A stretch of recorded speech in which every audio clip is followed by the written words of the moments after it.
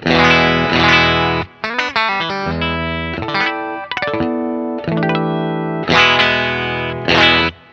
วันนี้ทดสอบเป็นกีตาร์ไฟฟ้า ยี่ห้อ Nash นะครับ ตัวนี้ชื่อรุ่น T63 นะครับก็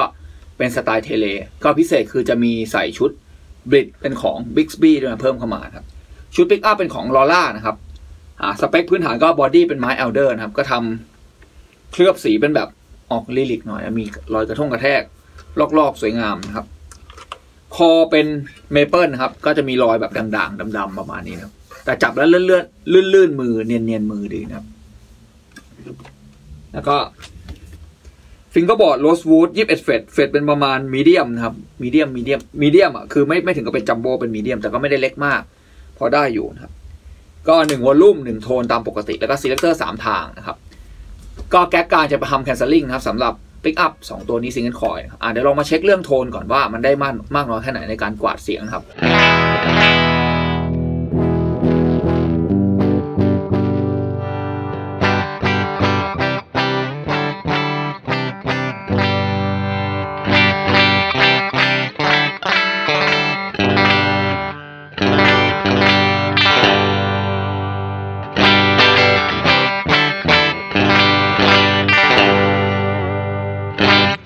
character ตัวกีตาร์เสียงจะมีความแบบว่าที่หัวโน้ตจะมีเสียงกระแทกกระแทกออกมาปักปักปักปักก็แน่น ๆ ดีประมาณนั้นนะครับโอเคเดี๋ยวเอากีตาร์ให้ดูใกล้ๆนิดนึงแล้วกันดูงานนะ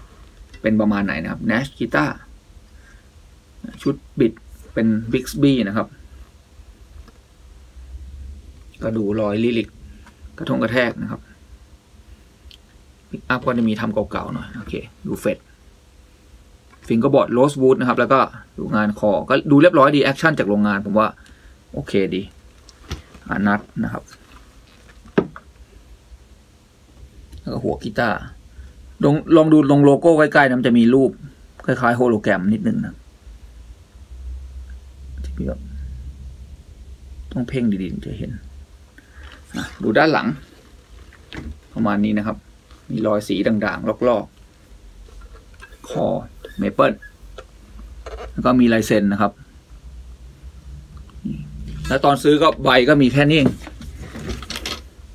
ป้าย tag มันนะเขียนว่า Nash กีตาร์มีลายเซ็นแล้วก็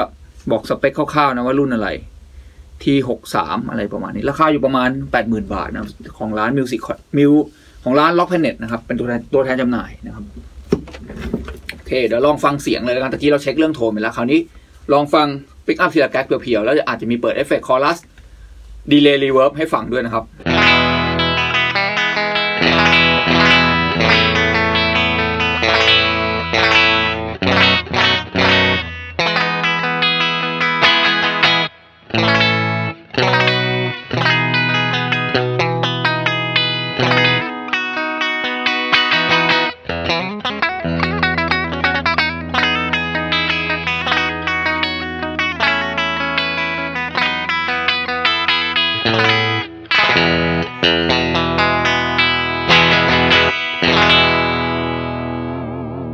เสียงค่อนข้างออกมากระแทกกระแทกดีนะหัวโน้ตที่ปักปักปักปักปักตาม character ของปิกอัพแล้วก็ของโครงสร้างกีตาร์เลยเอาคราวนี้ลองเป็นแก๊กผสมนะครับเป็นสองซิงผสมกัน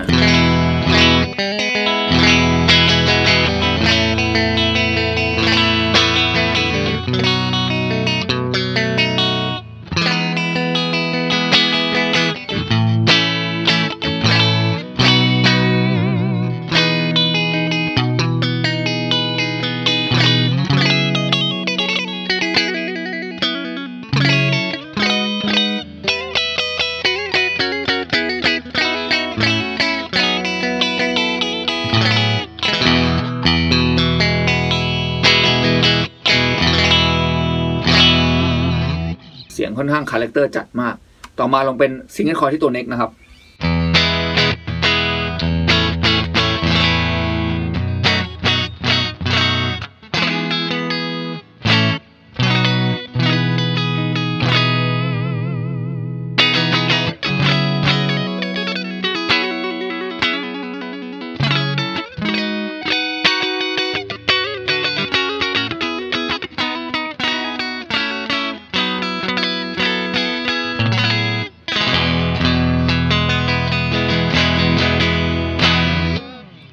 ก็เดี๋ยวจะข้ามมาลองใช้พวก effect chorus delay บ้างนะครับเดี๋ยวลองจูนสายก่อนลูกสายมันเพี้ยนหน่อยๆนะครับสายสามมันเพี้ยนนิดหนึ่งโอเคลองเป็นเปิด effect chorus นะครับ เริ่มไล่ปิกอัพทีละแก๊กเหมือนกันนะครับ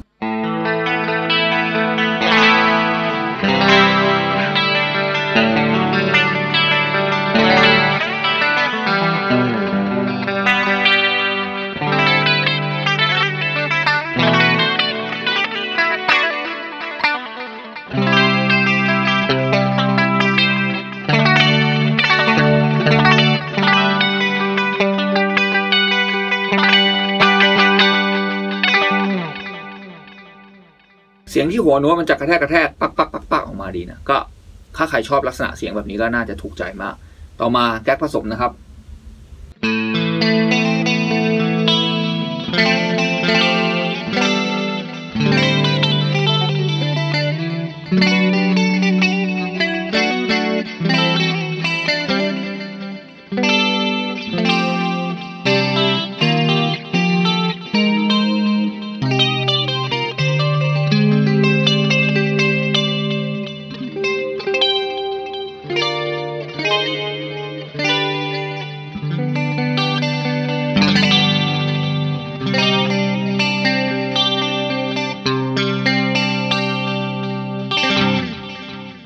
แล้วก็ข้ามมาเป็นสิ่งที่ตัวเน็กตัวเดียวนะครับ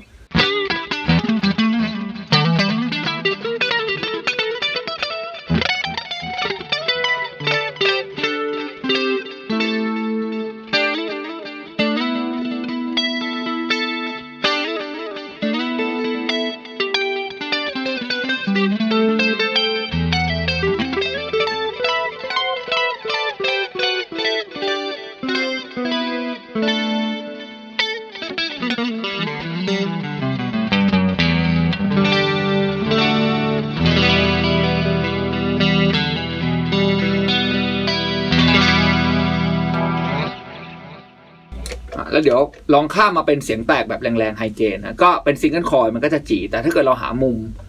บางมุมเนี่ยมันก็จะจี่น้อยอย่างตอนที่มุมที่ผมหันหน้ามาเล่นอยู่ทางนี้เนี่ยก็จะจี่ค่อนข้างน้อยหน่อยนะเดี๋ยวลองเปิดเสียงแตกแรงมากนะ high gain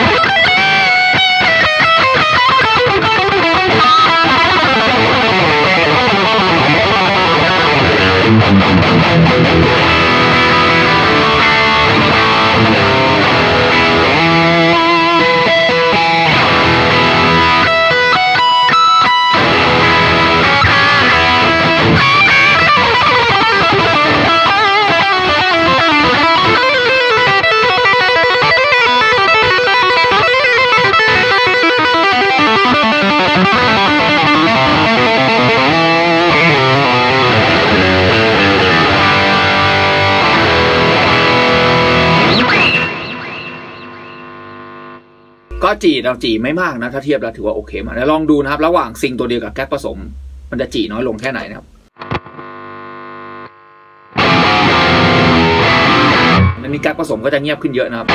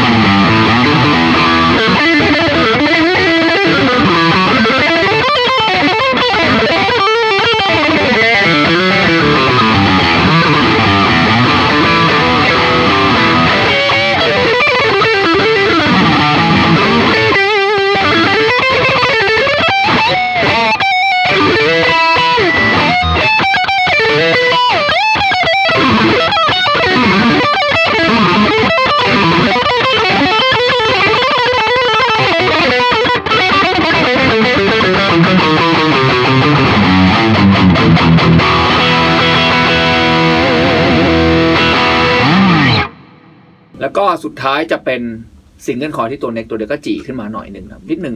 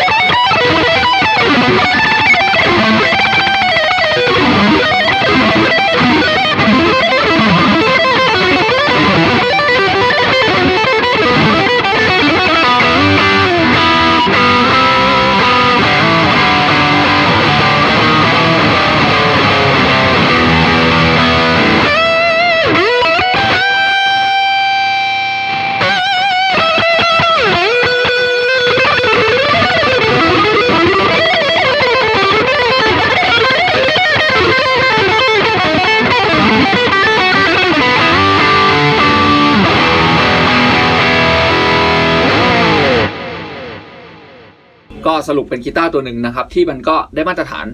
สไตล์ high-end กีตาร์นะครับ ก็เป็น Tele ที่เสียงเจ๋งดีเล่นร็อกเล่นอะไรก็ได้นะ ลักษณะเสียงเนี่ยมันจะต่างจาก Fender เท่าที่เล่น น่าจะเกี่ยวกับโครงสร้างกีตาร์นิดนึงแล้วก็ชุดปิกอัพอะไรด้วย รู้สึกว่าเสียงมันมีความกระแทกกระแทกหัวโน้ตกระแทกแข็งแข็งเป็นเม็ดเม็ดกว่านะแล้วรู้สึก output มันดูเยอะเหมือนกันถ้าเทียบกับ Fender Fender แบบ Tele ทั่วไปรู้สึกปิกอัพตัวนี้น่าจะ output เยอะกว่านะเป็นปิกอัพของ Lollar ก็ประมาณนี้สำหรับผู้ที่สนใจ Nash กีตาร์ก็ในเมืองไทยน่าจะมี ตัวแทนจำหน่ายหลายหลายเจ้า แต่ตัวนี้นี่เจ้าของเขาซื้อมา มันมีใบเสร็จอยู่ในกล่องนะครับเขาน่าจะซื้อต่อๆกันมา แต่ใบเสร็จเขียนว่าซื้อจากร้าน Rock Planet ราคาประมาณ 80,000 บาทสำหรับรุ่นนี้นะครับ ก็สนใจก็ลองไปเลือกชมเลือกซื้อกันได้นะครับสำหรับไอ้ Nash กีตาร์ตัวนี้ ก็เช่นเคยนะครับ ฝากกดติดตาม YouTube Channel ผมด้วย กดแชร์กดไลค์กด Subscribe ไว้นะครับ กดกระดิ่งไว้ เวลามีคลิปใหม่ๆ เราจะได้มาเจอกันอีกงั้นวันนี้ขอตัวไปก่อนบ๊ายบาย